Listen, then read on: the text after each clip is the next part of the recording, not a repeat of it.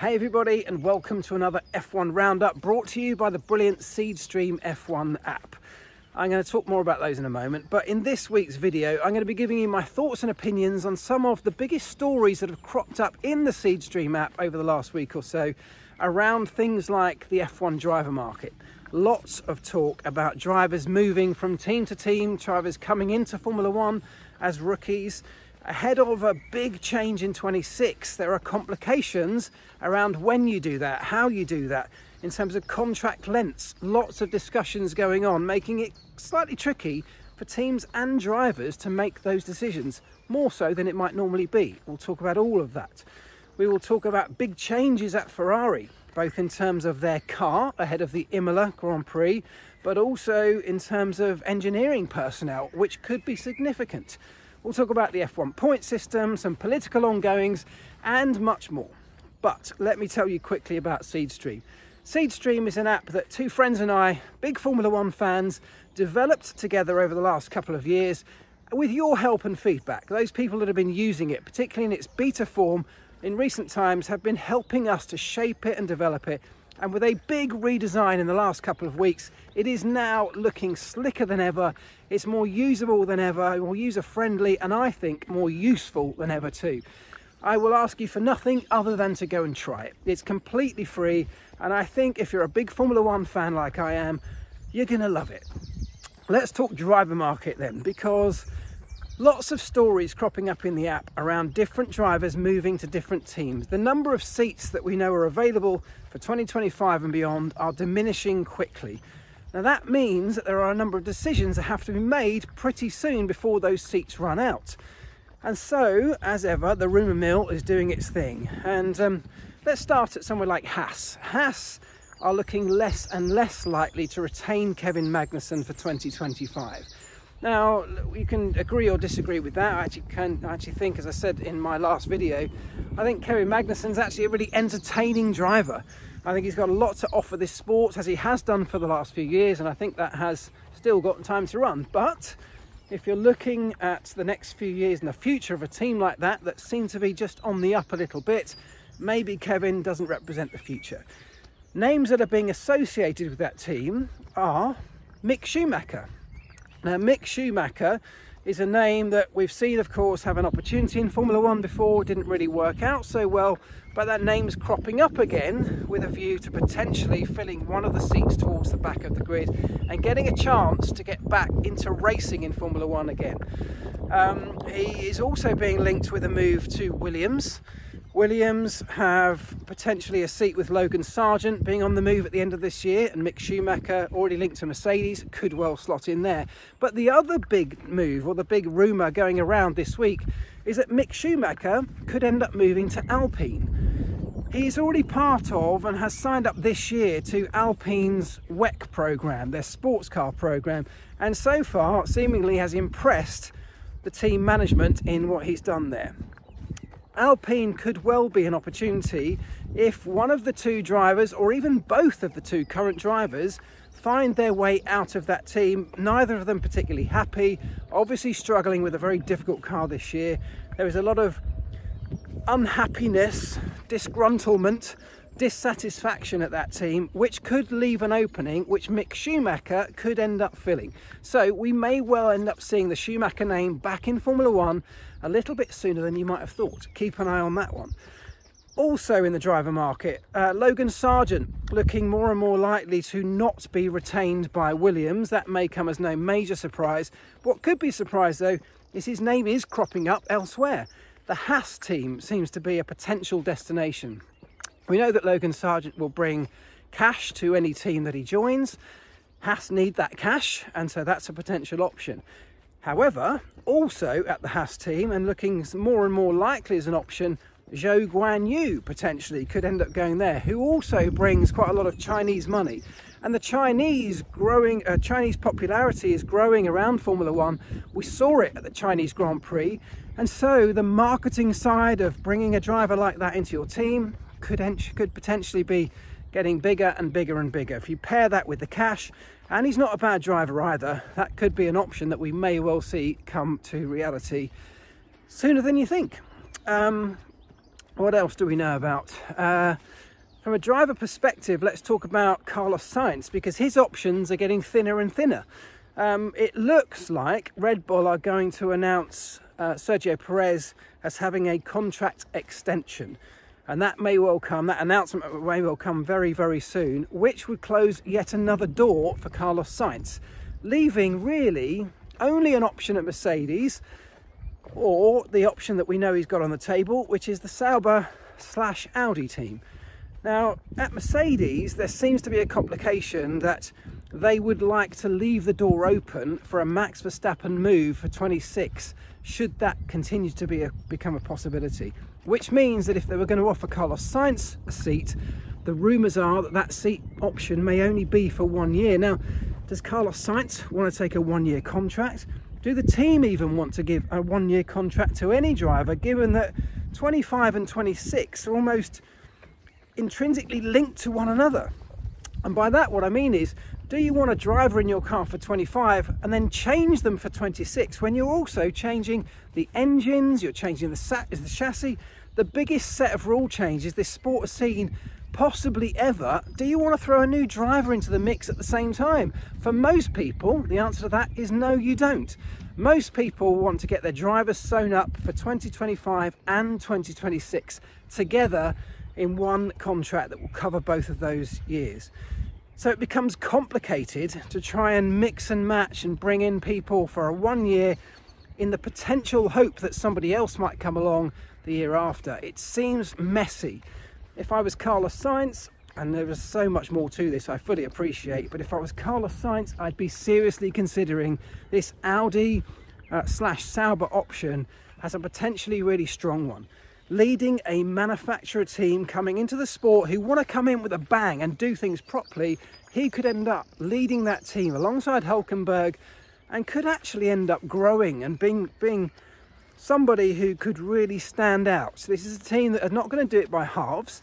And yeah, they're inexperienced to some extent, but they're going to come in and throw money and personnel. They're putting a lot of preparation into this. They aren't going to do this half-heartedly. That could, I think, be a really strong option for Carlos Sainz. From a Mercedes point of view, the whole Kimi Antonelli story just does not go away, and there are still rumours that Kimi Antonelli could end up being placed at the Williams team. We've seen Mercedes do that uh, time and time again. George Russell followed that route to Mercedes. Valtteri Bottas followed that route to Mercedes. Kimi Antonelli could well do a similar thing, but then they got that same problem again. Do they do a two-year contract at Williams, leaving Mercedes without a second driver, and I'm saying that given that we say George Russell might now be a number one driver when Lewis Hamilton moves away. So many difficult decisions to be made around the driver market because of the regulation changes coming into the sport over the next few years. We'll keep an eye on all of that. Um, from a driver perspective, another thing, let's link ourselves back to Ferrari because that's my next topic. As Lewis Hamilton moves to Ferrari at the end of this year, still undecided as to whether or not he will take his own engineer, Pete Bonnington, with him. Um, that would be a blow for Mercedes because not only is he Lewis Hamilton's race engineer, but he's also a key member of that Mercedes team in the wider engineering uh, layout, the landscape there. He's a key member, key personnel, which would be missed if he were to leave. But from a relationship perspective, it's going to be much, much easier for Lewis Hamilton to transition to Ferrari if he's got the familiar face if he's got the relationship that's already been built over years with Bono. If he can take that with him and they can keep that going, there is much greater chance of success straight out the box, I would say. And that brings me on to Ferrari. Let's first of all talk about, as we're talking about engineers, the engineering changes at Ferrari because Charles Leclerc goes into this weekend's Grand Prix with a new race engineer. And for everything that I've just said about Pete Bonnington and Lewis Hamilton and how important the relationship between driver and engineer is, they're changing it midway through the season at Ferrari. Now, that is something that's very unusual. It's not unprecedented, but it's unusual. It is poses a, a serious risk. Uh, what they're doing is they're moving his performance engineer up to become his race engineer, and his race engineer moves away from the race team to go on to, and I think I'm quoting this correctly, other important projects at Ferrari. whatever that means. Essentially, the relationship between Charles Leclerc and his race engineer is flawed.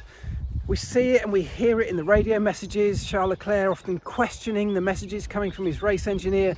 There seems to be confusion, it's not clear. And look, those are all the things that you absolutely need between driver and race engineer. Communication and clear, concise communication is key to almost everything. The driver's doing 200 miles an hour plus. He's in heat of battle, going wheel to wheel often at times in very difficult, high pressurized circumstances. The communication and the messages that come from the team need to be delivered in a very clear, concise way that's calm and measured, where the driver has total trust that those messages are the correct ones and that he can believe what's being told to him. That he can have total belief that the decisions being made are all for the best. And I think we can all probably agree, and particularly given this latest decision, I think we can understand that maybe that hasn't been happening to the best degree at Ferrari. And so if they want to build Charles Leclerc into something that's even more successful, they are making this change now in the hope that it delivers results. So an interesting one to keep an eye on, but that is something that's going to have to be developed over time, that relationship. It's not like they don't know each other, they absolutely do, but they have to build a race engineer driver relationship too. Also at Ferrari, lots of big technical changes, big updates coming to the car. Now Ferrari are a team that are on the up. They are no doubt heading back towards success. The leadership that Fred Vasseur has shown, I think, is already paying dividends. You're seeing it in terms of the whole performance of the team, the whole um, environment around that team is changing, and I think for the better. They're bringing in Lewis Hamilton, which is a big, bold move, and they're making the kind of changes that will lead to success, whether it's this year, next year, or in the in the near future. They're heading back in that way, in a similar way to the way McLaren are. From a technical perspective, they've also got major updates coming this time around. Big revisions to the side pod that now look a bit more Red Bull and McLaren-esque, I guess. Uh, front and rear wing changes, little changes to the flick ups and the vents uh, and the ducts around the halo. So lots of changes, and if they work, might give Ferrari a decent step forward like we saw at McLaren last time out. And at McLaren, of course, we're also getting the full upgrade package coming to Oscar Piastri's car. So both cars now in with a great shot of seeing that performance come to life. So Imola this weekend will be a real interesting test just to see how close the likes of McLaren and Ferrari really are to Red Bull. We saw it in Miami, of course we saw a change in power dynamics, but was it circuit specific? Were Red Bull just having a bit of an off weekend? We will find out in Imola this weekend. And just speaking of Red Bull quickly, uh, Liam Lawson, those rumours were starting to surface and bubble up again. Liam Lawson potentially to replace Daniel Ricciardo as quickly as Imola. Well, that has been shut down very abruptly by Helmut Marko and interestingly he even went as far as to say those rumours were actually planted in the media by Lawson's management, which may not come as a huge surprise, these things happen, but it just shows how a what a political game Formula One is as much as it is a sporting game. The same kind of things where stories are planted, rumours are circulated very deliberately to create stories which then create momentum to try and egg that change along. So that one on hold for now. It's not to say it won't happen, it's just not happening this weekend. And finally, the point system change that we were having discussions around last time out and that was discussed at a recent F1 Commission meeting looks set to change. I think all of the teams have agreed and backed the idea of uh, giving points down to 12th position. I absolutely agree with that. I think it's a good move. My only thing would be Maybe we should go even further, as I said before. But I think it's a decent move and a step in the right direction. Keep the competition alive further down the grid than just the top 10. I think that only got to be a good thing. I'd love to know what you think. I'd love to know what you think on that and any of the discussions and any of the topics I've covered today. I would love to know your thoughts on the Seedstream app once you've been and downloaded it from any of your app stores or via the link in this description. As I said, it's totally free and I'm pretty sure you'll love it. And if you don't, you can get rid of it again, can't you? Give it a try. I'd love to know your thoughts. Uh, I hope you have a wonderful week, guys, and I will be back very soon after that Imola Grand Prix to discuss anything that crops up over that weekend. But in the meantime, have a good one. ta -da.